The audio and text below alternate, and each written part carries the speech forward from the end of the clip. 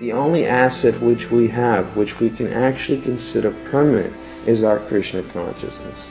That is all. Everything else will be taken away at the time of death. So that should be seen. How far we're able to acquire this asset is the real test of our perfection in life, uh, not anything else.